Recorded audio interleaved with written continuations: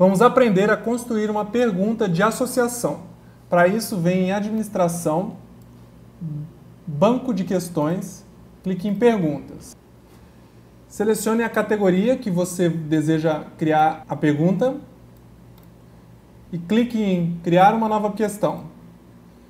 Escolha a associação e clique em Adicionar. Verifique se a categoria está correta. Inclua o nome da pergunta. Neste campo você vai incluir o enunciado da questão. Em marcação padrão é a pontuação dessa questão que você pode configurar posteriormente. Então a gente vai deixar a marcação padrão. Feedback geral é a mensagem que o aluno vai receber após concluir a realização do questionário. Você pode optar por embaralhar as questões, assim o Moodle faz isso automaticamente. E em respostas, a gente vai incluir aqui as questões e a resposta. Então vamos lá, editar perfil. Ambos. Criar uma atividade. Professor.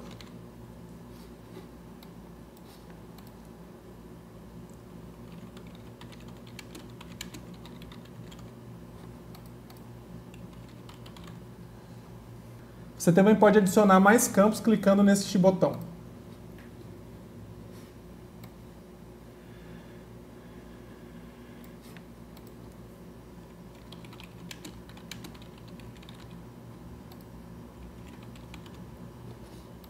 Pronto.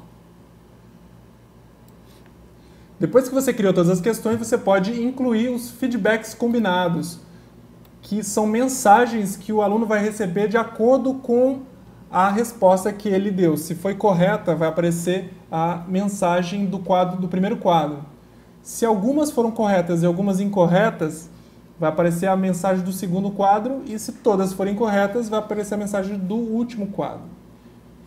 Terminado isso, basta clicar em salvar mudanças e a questão foi criada.